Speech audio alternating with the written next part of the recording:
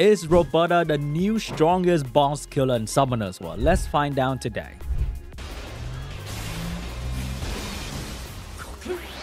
360, 720. I got a headache.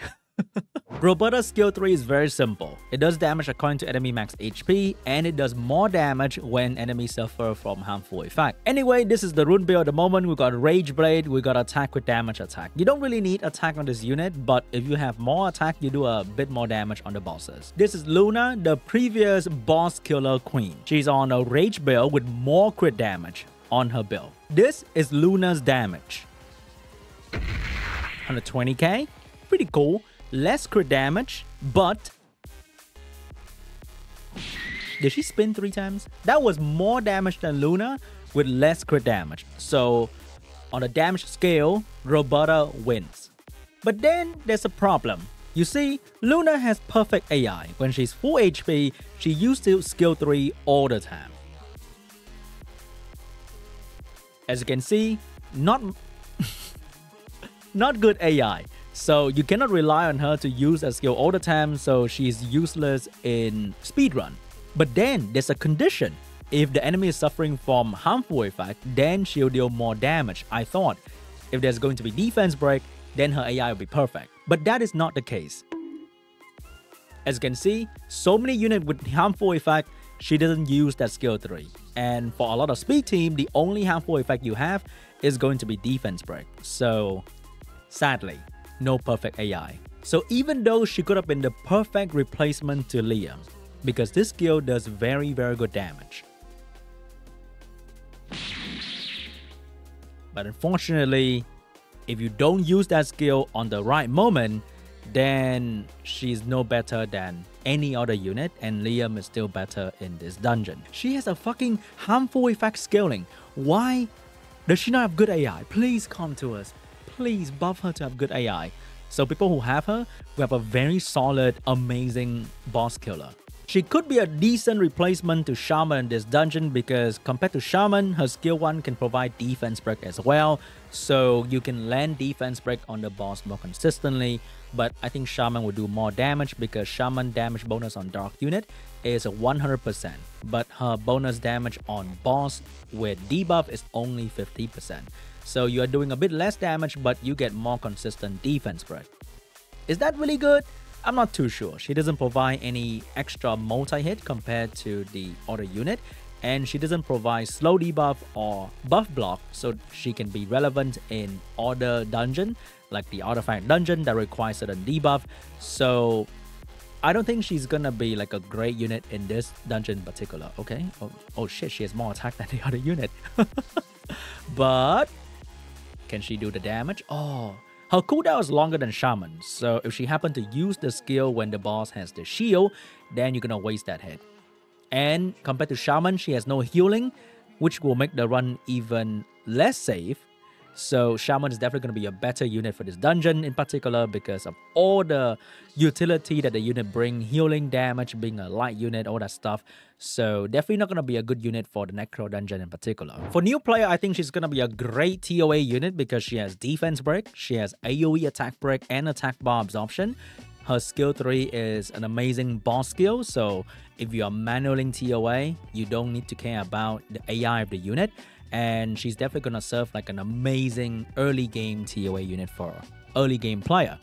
I think they made this unit with TOA and pretty much giants in their mind because the attack break and the defense break are amazing in giants and the skill 3 is amazing for giants as well and the unit is also absolutely incredible for TOA in general. So this is I think an early game unit because a lot of early game player who join the game might summon her and they want to make the early game player feel like they summon something useful so they give this unit this kit with AoE attack break, defense break, and boss killing damage. As you can see, any new early game player will be very impressed with that skill 3 on any boss in TOA and TOA hard.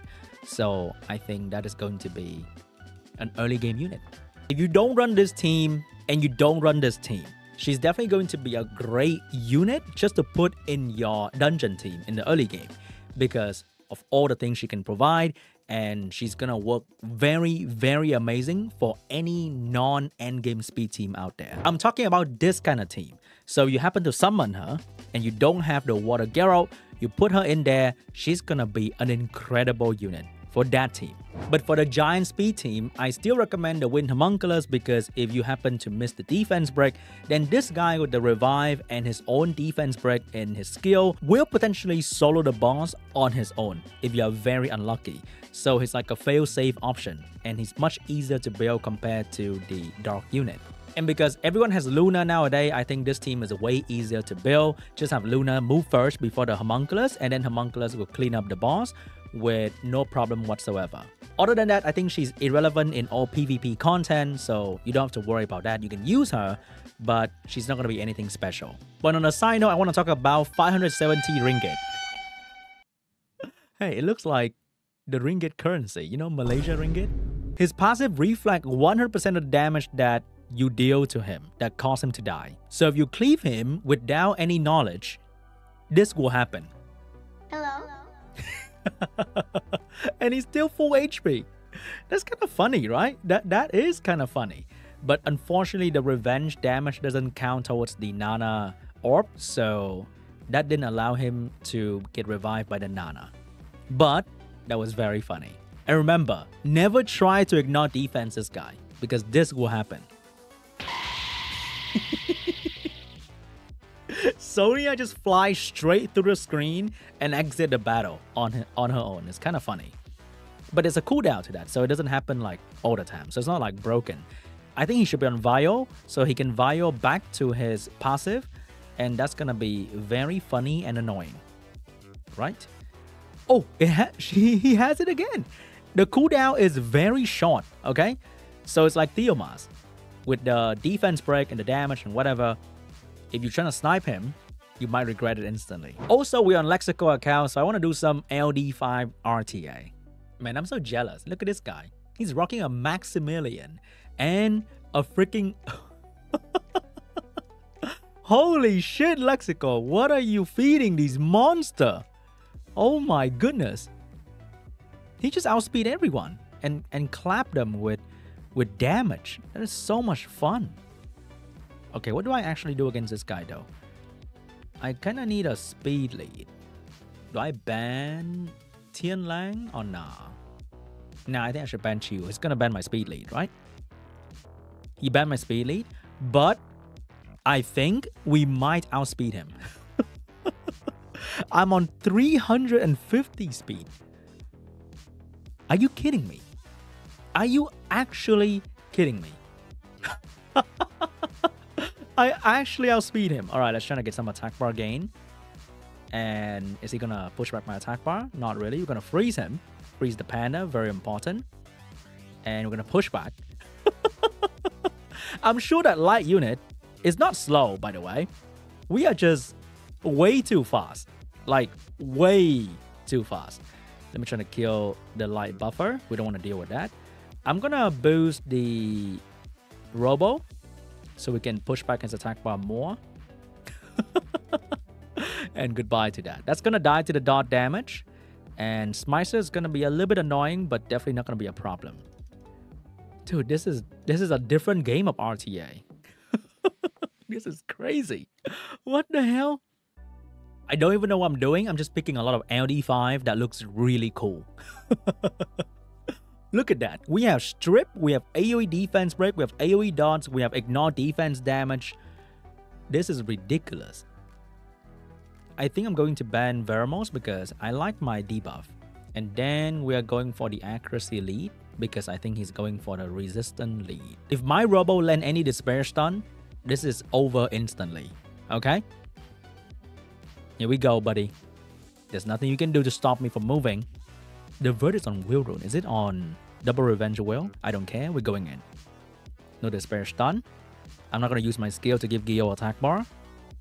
We are going to push back Despair Oh wait, this unit is on Vial actually. Here comes the AoE. Big damage. Here comes the Revenge. Here comes the follow-up. Big dot damage. And... Oh shit, she's moving. Should I be scared? Nah, we're gonna be fine, right, guys? We're gonna be fine. Right? He didn't even attempt to uh, despair stun my, my Asima. They're all melting to dots. Bro, Lexiko's playing a different game, man. I'm so... this is so much fun. Oh my god. The whole reason I'm on this account was to showcase Roberta. But I'm just having a an amazing time. Just abusing LD5. He picked zero water, so Douglas gonna be amazing. We might still outspeed him anyway. And Fire Monkey just kind of solo his entire team as well. I don't know what is the Ragdoll doing there, over there, but I know I'm going first. So if I ban this, and he doesn't ban Wunsa, we go first instantly. Right? I think he think I'm gonna ban the Daphnis, so he's going to ban my Douglas because Douglas is kind of strong against him right now, kinda. I got him. Ragdoll and Ethna still have a very good chance of killing Douglas, but then he has to go through all the other unit before touching Douglas, so that's gonna be very risky, so he banned Douglas. Now we're gonna take turn one. What is that Robo doing? Is that a Nemro? It is a Nem Robo, and it messed me up. And we are, this is bad, very very bad. So Monkey's gonna go down, and Monkey's dead. Oh shit, Nem Robo, you know what? Very, very well played, and it actually cut me, even though I get attack bar gain from the from the Wunsa. It still cut me. Oh, imagine if I get a Violent Prop for Maximilian, I think I still win. Maybe, maybe, okay? So we're gonna try and still win here. It's not over yet because my Oliver is a damaged Oliver, I think. I can still kill the Daphnis because my Wunsa has, what do you call that? strip and survive. God damn it. So I didn't reset the Ethna, so we're gonna get defense broken here, unfortunately. We're gonna finish. Oh, we didn't get any skill. So I don't think we have a chance here because there's no way we can defeat the Ethna. You know what? Nemrobo. Amazing. What if I sleep them back to back? Nah. Alright, I'm gonna stop. But that was a lot of fun on this account. And man, I wish my account looks cool like this. Alright guys, thank you so much for Lexiko for letting me borrow the account. And thank you for watching. And I'll see you guys in the next video. Bye bye. As you see, Luna has perfect AI. At full HP, she will always use skill 3. But Roberta, not really. Okay, that was because that thing has like low HP. Let's try again. but Roberta, different story. Are you stupid? Why does she do it all the time? That doesn't make sense. Why does she do it all the time? Wait, what the fuck? Hold up.